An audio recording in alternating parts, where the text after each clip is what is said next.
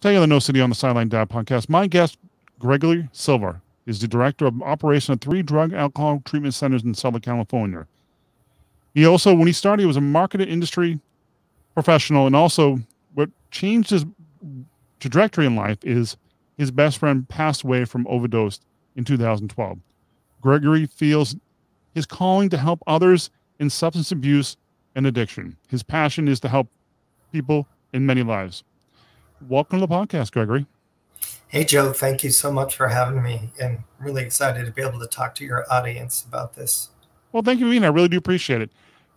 Drug addiction, um, alcoholism, and all that, it's a really something that we don't talk about, especially in the last couple of years with the pandemic. But it seems like it is a growing epidemic, especially with the certain ones. How did you get involved in something like this? Well, um, I was really ignorant when it came to uh, treatment and how to help someone. And uh, like uh, you mentioned in your opening, I my best friend he actually house sat for me, and I worked for a company that took me um, to France a lot. So I was working in France, and my friend would house sit for me. He was like my best friend. We were really pretty close, and uh, the guy was hilarious. You'd never know that there was a problem, but he started drinking a little too much, and then I found out he was taking Xanax I tried to help him. I talked to him about it, and he kind of shut me down and said, "Mind my own business." And I kind of minded my own business. I didn't take it to the next place, and I didn't know how to take it to the next place. Honestly, I didn't know the questions to ask. I didn't know who to talk to. And one day, uh, I was getting ready to leave. He had the keys to my house, and I got home, and he had written me a little note, and he had committed suicide in my garage. He'd taken a handful of Xanax and asphyxiated himself in my garage. And I fell apart. It took me a couple years to kind of put it back together.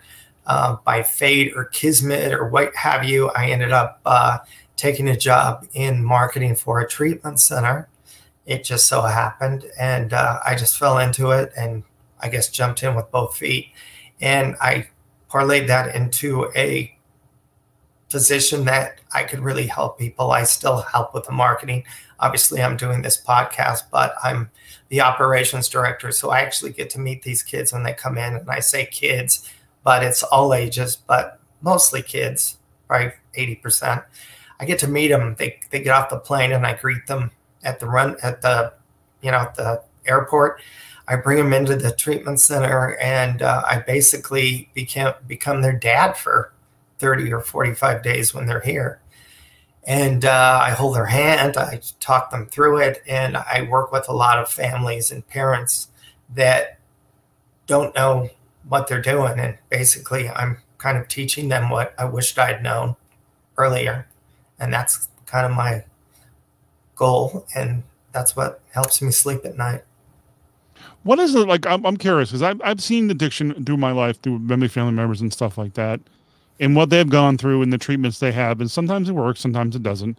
And um, what are the sound? What is addiction? What is addiction to opiates, alcohol, and drugs? What what are the? Yeah. I know they seem different, but what are they? I mean, there are there are addictions to everything. Anything you do obsessively that is affects your life in a negative way can be an addiction. I mean, we know smoking; it's legal. Mm-hmm. People smoke, but you know, it's not good for you. We know that. And eventually, if you smoke long enough, you're going to have a heart attack or cancer or something. Um, same with um, sex. There's sex addictions. There's all kinds of addictions. Uh, the one thing that I guess uh, what we work with are just substance abuse. And uh, we pretty much zero in on uh, drugs and alcohol and that's a bad one. It kills a lot of people every year. It's one of the leading causes of death, and uh, it's bad. You said it was a pandemic, and it is kind of the forgotten pandemic. And during the COVID pandemic, we've seen it grow even exponentially. Um, women in their midlife uh, are drinking way more than they ever did. Um, kids are, you know, this is depressing for everyone, and people turn to drugs and alcohol to help them feel better.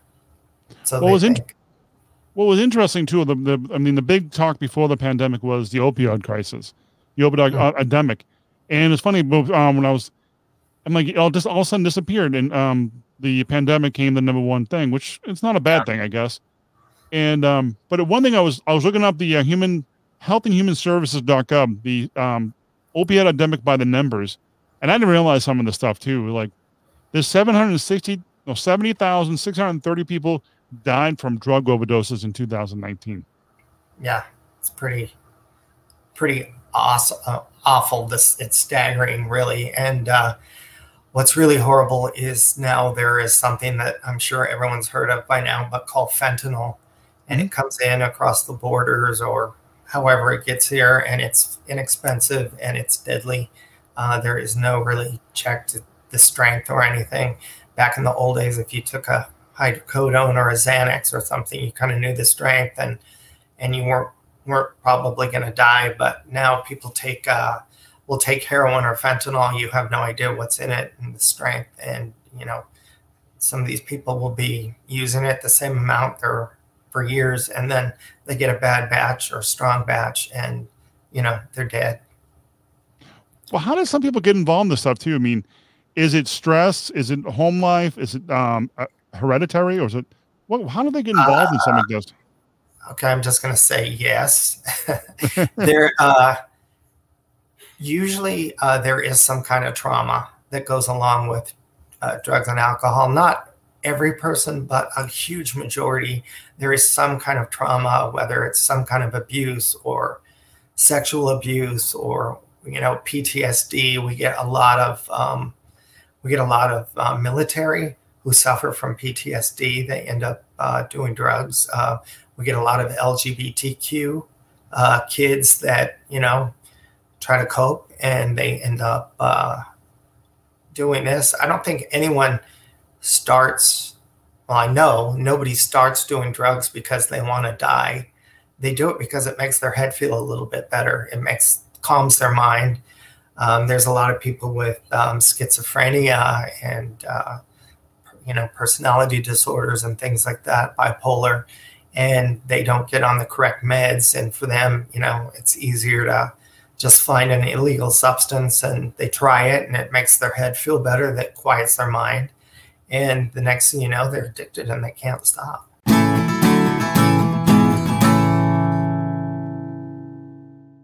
What I really wanted to talk about is um, dual diagnosis. So, most of our patients come in and they will be diagnosed with uh, uh, co occurring disorders like a mental health issue and addiction. So, we try to help with both. We try to get them clean through the detox period um, once the drugs are out of their system, then we can assess um, mentally what's going on. We have psychologists and doctors that work in tandem to try to figure out what uh, is the best, you know, case scenario. How do we how do we bring this person back to center without the illegal medications? And sometimes it takes other types of medications, uh, antidepressants or or things like that, and we figure out what is best for them. We get their, uh, they, we get them centered, and then they stay for about 30 days in a in our residential program once they're detoxed.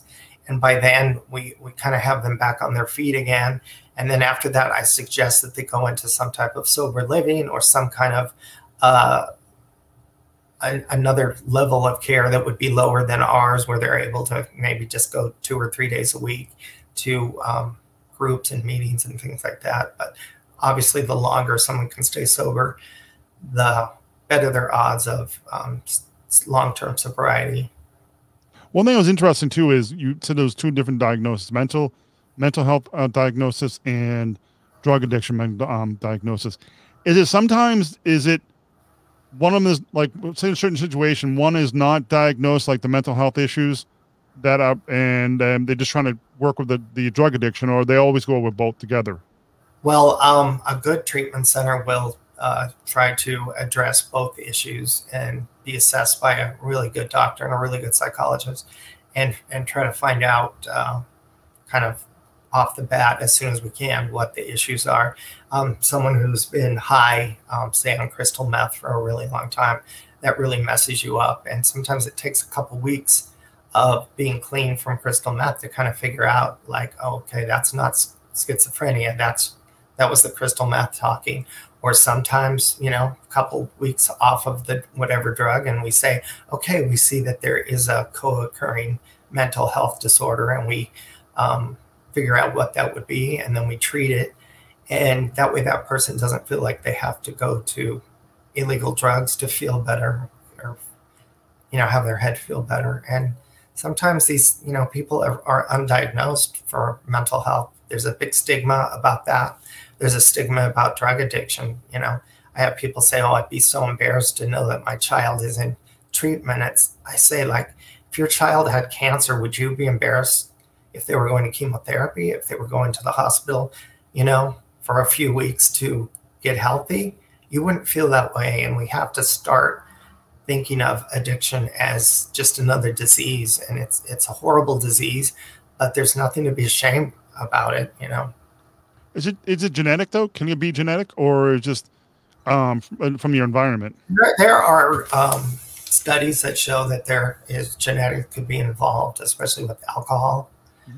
But um, you know i've met people whose families are alcoholics and and they get sober and they stay sober you know, it's not a life sentence for sure. Well, it's interesting too. Some people think that, um, like some people, like I know some people have anxiety and depression, and because the mom had anxiety and depression, they kind of they kind of inherited that, and uh, they take medication for it. Well, it's interesting too. One of the warning signs of a, of an addicted person?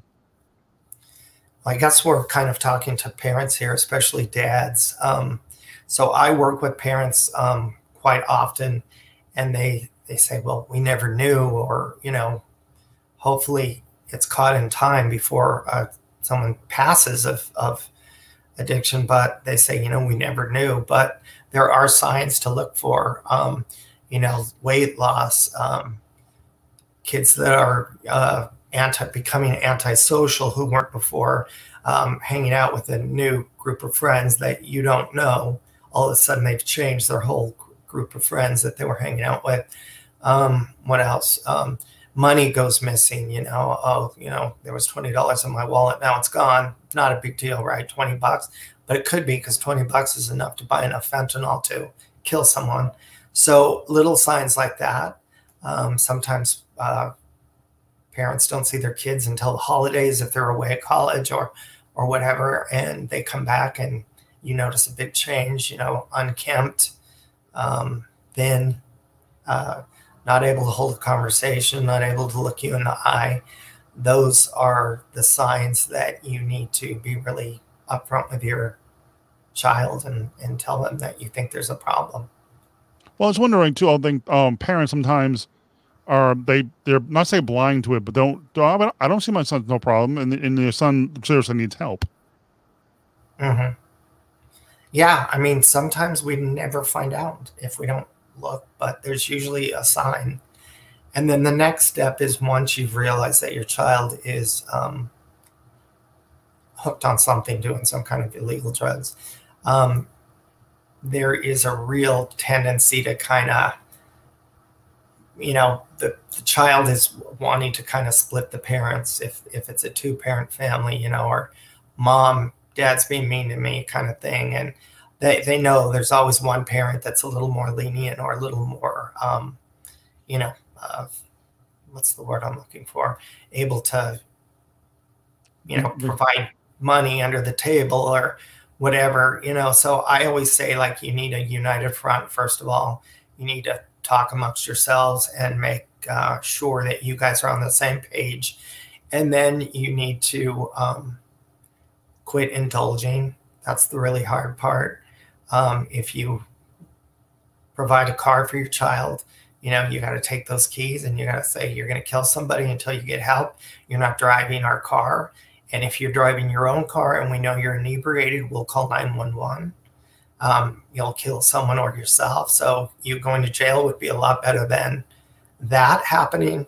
Um, you know, no more giving money out, if you know that's the case, um, you're you're not going to come to this house inebriated. Those kinds of things will um, oftentimes help the child to see that you know they've got to make a change or their life is not going to be easy. And uh, But also, like sometimes the, the uh, parents are the enabler. Yeah, that's true. That, like I said, um, you know, let's let him keep driving his car. Let's let her, um, you know, whatever, get, you know, smoke marijuana in the house. That's not a big deal, right? Mm-hmm. Yeah, it's a big deal if she's using other substances and whatever. I mean, it's you. You have to set some boundaries, and um, when you set those boundaries, you help your loved one hit a rock bottom. So taking a car away, um, not providing money for you know stuff, fun stuff, not giving them a roof to live under. Those kinds of things help someone get to rock bottom, and that rock bottom will help them get into treatment. And you know, they realize, well, maybe I can. And I've had this happen. I use this scenario because it, it happens often you know, okay, well, I'll get my truck back if I go through 30 days of treatment. And that's all I need is uh, the ability to get them in our door and get them, uh, you know, hooked up with some counseling and some really good therapy. And uh, we can hopefully get them over the hump, get them their feet under them, and get them, you know, on the right path well, what next? What, what once the, the parents decide with the child or um, and they're getting any help, what will they do next? What will be the process? Well, um, you need to find out. First of all, uh, it comes down to probably health insurance if you don't have a way to means to pay cash for treatment, and treatment can be can be expensive. So, um, if you say you had um, an insurance policy, you would find out from your insurance policy if they cover addiction treatment, most of them do. Some of them don't. They carve it out so that you know they they don't offer it, which is um, really sad because you know it's it's something that's needed. But find out what kind of insurance you have, and then do some research. Reach out to a treatment center that uh, you hear good things about. Um, my treatment centers, I have three in uh, Southern California. We take um, patients from all over the country and sometimes even internationally. Um, they'll give me a call and, and let me know what the issue is.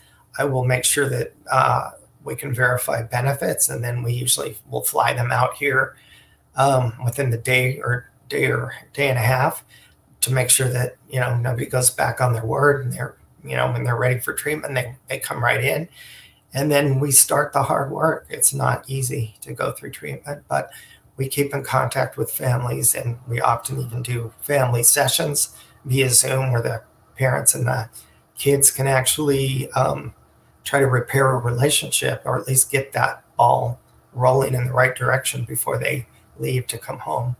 You know, because sometimes there's some pretty tough things that happen when, you know, kids are living at home or parents are trying to get them into treatment. Lots of things are said that aren't meant well, what are some maybe some of the success stories, success stories coming through your treatment center? Something you can share that really really touched you. I um, well, every person that comes through here touches me. I literally, uh, literally feel like these are all my kids actually when they come in here because I see like the potential that they have and and how much uh, how much good that uh, being sober can do for them. And and some of these kids feel so lost, and by the time they leave here, their their little personalities have come out, and they are feeling good about themselves, and they're feeling you know not so bad about the uh, things that have happened in the past because that's in the past, and we talk about futures. But um, I had a guy come in here. He was 40 and he had been to 70 different treatment centers. His parents oh, wow. had indulged him. They've bailed his car out of the impound yard more times that they could count, probably way more than what the car was worth. Um, every time he needed help, they sent him money, and he pretty much did whatever he wanted. And the parents were so sweet. But I said, You guys got to get tough. I said, This guy, your son is never going to get help. He'll come in and he'll clean himself up for a couple weeks. He'll get some new clothes and he'll eat and he'll feel better. And then he'll walk out of here and he will then continue his on his way and the next time he gets in trouble he'll come into a treatment center do the same thing and you guys are enabling that so you got to be tough and it's scary and you know, he this kid threatened suicide and all kinds of stuff. His parents held firm, probably the first time in his life. And he ended up sticking it out, and he is still sober. It's been about five or six months now. And uh, for the first time in maybe 20 years, he's stayed sober for a really long period of time. And that's because his parents got on the same page and they, you know, told him how it was. This is no longer what we're going to do for you. You are on your own if you leave treatment. And uh, he figured it out, you know. But those kinds of stories happen all the time. It's amazing um, how once they see that the parents say put a stop to it, set up some kind of boundaries and follow through, and they can really help the, the children. Yeah, tough love. It's hard. It's hard for parents because the worst thing that you can imagine is losing your child. And, uh, you know, you walk that line when your child isn't addicted, you know, but you, I've seen parents literally uh, love their children to death. And it's not a cliche, it really happens. But I wanted to, I know we're not, we're pretty close to getting towards the end. I wanted to just talk about the three treatment centers that we have. Um, two of them are in the Palm Springs area, and mm-hmm. one of them is in uh, Encino Hills. And we um, we have a lot of people that come in from all, like I said, all over the country. Each treatment center is um, geared a little differently for different personalities. So we have the one in LA is uh, geared for more um, older, 30s to 50s, 60s um, business people who need to stay connected. Um, the two in Palm Springs we bring our younger uh, patients here, um, patients who have um, been addicted and relapsed many times. We have very, very good counselors who um, figure out what the triggers are and how to get past those so that they can stay sober. And anyway, parents can call me directly. I will speak to you on the phone. I'll talk you through it. I will, uh, hopefully, I can get you to get them here to work with us. But if not, if you have a type of insurance like a, a government health insurance, there are places for um, that as well. Um, most of the time, you have to stay in your own state, but I have an 800 number that I can give you for that if uh, if that's what you're going through right now in the your circumstances. But there is help for everyone. Where? What's the name of the website? Name me some of the websites of your establishment. Uh, you can go to www.gravitytreatmentcenters, plural.com.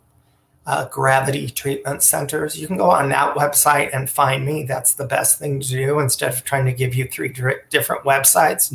go to that gravitytreatmentcenters.com. There's uh, an 800 number you can call. You, you'll either reach me or you'll reach a professional who can help you through the whole process. Um, they can explain it to you first if that's what you need to hear. We can speak to your child or your loved one, your wife, your husband, whoever. We can talk to them about uh, their issues and, and figure out if they want to get help, first of all, and if not, why. And maybe we can help you uh, see that maybe that's definitely where you need to go. But I say this all the time I'm really persuasive in my life. I can talk pretty much anybody into anything. Mm-hmm. But I am no match when it comes to illegal drugs. They, fentanyl, alcohol, cocaine, crystal meth, they all have me beat. They're way more persuasive than I am. So all I say is when you're tired of that whole life and you feel like you're at the end of your rope, you've lost your job, your marriage is in trouble, your kid, you know, you're you're about to be kicked out of your parents' house reach out and we will definitely, definitely give you some avenues, uh, some avenues to go down so that you weren't like me. You know, I, I learned the hard way and uh, it was very, very uh, difficult. I still deal with it, the trauma of losing that friend. But um, if I can help one more person to um, figure out how to get this right, then that that's good for me. And if I can, if you don't mind, I wouldn't mind giving out my phone number. It's an 800 okay. number. It's 833. my eyes are getting bad. 833 244 5900. So 833 244 5900. That rings directly to my uh, call center. we have someone 24 hours a day taking your calls. We don't have a huge call center. It's two or three people. So if you call back, you probably get the same person, but you will get the help and the, the information that you need. And if you have uh, don't have means or you have um, government type health insurance, you can call the SAMHSA National Hotline, and it's at uh, 800 663 4357 um, that's another really good uh, option. I can't obviously take every person who needs help, but I can certainly refer you out or give you some really good advice, and and that's what you need to get started. Well, Gregory, thank you much for your work and all the stuff you do to help people. It's important work and getting the word out to help others. I really do appreciate you spending time today talking about addiction and help, getting people help. I really do appreciate it. All links will be in the show notes for this episode, sir. I really do appreciate your time. Thank you, Joe. Really appreciated your time, and you know, hopefully somebody's heard this that needs me.